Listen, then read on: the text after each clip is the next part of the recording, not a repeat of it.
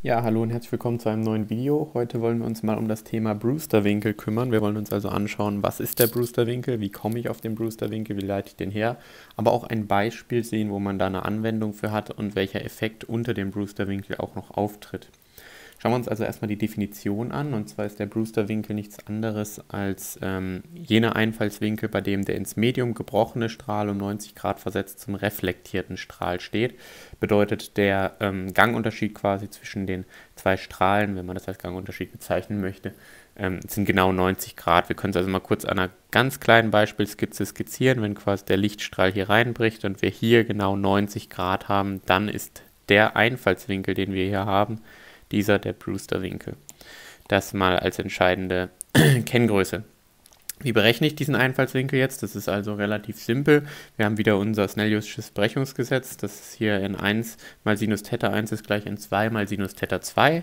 Wir wissen auch, dass ähm, jetzt 90 Grad Unterschied vorliegen sollen. Das heißt, Theta 2 ist 90 Grad minus Theta 1. Kann man auch sehen, wenn man dieses Bild, was ich eben gezeichnet habe, einzeichnet. Ähm, dann erkennt man, dass eben 90 Grad minus Theta 1 da eingesetzt werden muss. Ähm, wenn wir das jetzt einsetzen in unsere Berechnung, dann kommt da eben n1 mal Sinus Theta 1 ist gleich n2, haben wir ja gerade aufgeschrieben, 1 drüber mal Sinus Theta 2, was nichts anderes ist als n2 mal Sinus und jetzt eben eingesetzt 90 Grad minus Theta 1. Und wenn man da eben Transformation zwischen Sinus und Cosinus einsetzt. Sinus von 90 Grad minus irgendwas ist einfach Cosinus von 90 Grad mit dem Minus drin. Also das ist n2 mal Cosinus von minus Theta 2 an der Stelle. Und da Cosinus, äh, der Cosinus um 0 symmetrisch ist, können wir das Ganze auch einfach kürzen zu einem n2 mal Cosinus von Theta 2. Das ist also schon mal, äh, jetzt habe ich Theta 2 reingeschrieben, Entschuldigung, das ist natürlich Theta 1. Das ist der gleiche Winkel, den wir da haben. Ähm, also n1 von Cosinus, äh, n2 von Cosinus mit mal Cosinus von Theta 1 so rum. Und wenn wir uns das Ganze jetzt anschauen, also ich kann ja hier nochmal den ersten Teil abschreiben, n1 mal Sinus Theta 1 gleich n2 mal Cosinus Theta 1, dann kann ich daraus leichten Tangens machen, indem ich eben Sinus durch Cosinus auf die eine Seite bringe und dann eben erhalte das Tangens von Theta 1, was ja gleich Sinus Theta 1 durch Cosinus Theta 1 ist, ist gleich n2 geteilt durch n1 das ist schon mal eine gute Erkenntnis, denn somit kann ich also dann meinen Brewster-Winkel berechnen. Also Theta 1 ist gleich Theta Brewster, wenn eben genau diese Bedingung gilt, die wir hier oben eingesetzt haben. Das ist Tangens hoch minus 1 von n2 geteilt durch n1. Und damit habe ich im Endeffekt meinen Brewster-Winkel bestimmt und kenne jetzt meine Formel. Was wichtig ist, der Tangens ist definiert, beziehungsweise der Tangens hoch minus 1 für Zahlen größer, aber auch kleiner 1, anders wie das jetzt bei der Totalreflexion mit dem Sinus hoch minus 1 der Fall ist. Auch dazu ein Video in der Infobox verlinkt. Ähm, bedeutet, wir können also einen Brewster-Winkel haben für den Übergang von einem optisch dichten ins optisch dünne, wie von optisch dünn ins optisch dichte. Was ich also hier nochmal markiert habe, ist es also egal, ob wir aus einem kleineren N1 kommen oder aus einem größeren N1 kommen und in ein kleineres oder größeres N2 gehen. Der Brewster-Winkel existiert für beide Fälle. Hier nochmal die Skizze, die ich eingezeichnet habe. Hier sehe ich gerade, das ist natürlich nicht ganz richtig. Der Theta Brewster liegt natürlich immer zum Lot an. Also hier Theta Brewster und hier Theta Brewster Winkel ähm, und die 90 Grad, die eben entscheidend sind für, wenn der Brewster-Winkel anliegt. Und was ich hier eingezeichnet habe auch noch, was eben dieser entscheidende Effekt ist, der auftritt beim Brewster-Winkel, ist, dass das Licht polarisiert wird. Und zwar unpolarisiertes Licht, das im Brewster-Winkel auf eine Oberfläche trifft, wird eben so polarisiert, dass das S-polarisierte, der S-polarisierte Anteil des Lichtes reflektiert wird und der P-polarisierte Anteil durchtritt. Und das ist eben ein entscheidender Effekt, den man nutzen kann. Ähm, ich habe da ähm, das Ganze nochmal kurz zusammengefasst. Also ein entscheidender Effekt, der unter dem Brewster-Winkel auftritt, ist, dass unpolarisiertes Licht polarisiert wird. Der reflektierte Lichtstrahl ist S-polarisiert, das ist die TE-Welle also, und der transmittierte Lichtteil ist P-polarisiert, also eine TM-Welle.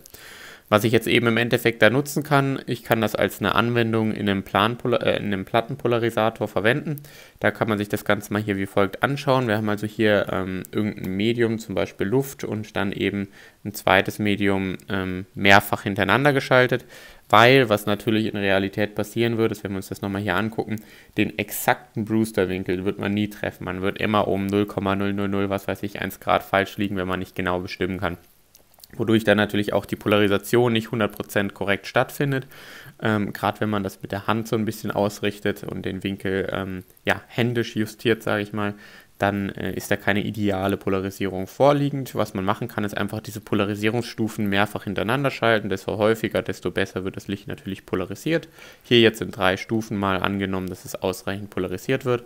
Was dann passiert ist, wenn wir das Ganze äh, uns einmal aufskizzieren in dem ähm, Fall, dass wir zum Beispiel sagen, das S-polarisierte, der S-polarisierte Anteil ist ähm, quasi so ein Ball hier, der vorher als Wellenteil auftritt und der p-polarisierte Teil ist im Endeffekt ähm, wie folgt ausgerichtet, also über die Pfeile.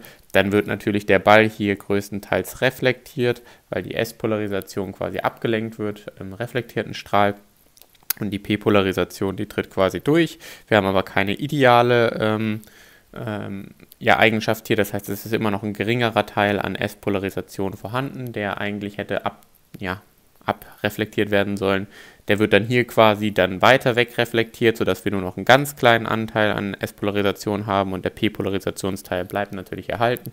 Und in der dritten Stufe geht dann auch der letzte S-Polarisationsteil weg und wir haben quasi eine fast nahezu vollständige P-Polarisation, können also zusammenfassen hier oben eine S-Polarisation und hier unten am Ausgang dann ein p-polarisiertes Licht, also beziehungsweise den p-polarisierten Lichtanteil von unserer vorher unpolarisierten Welle.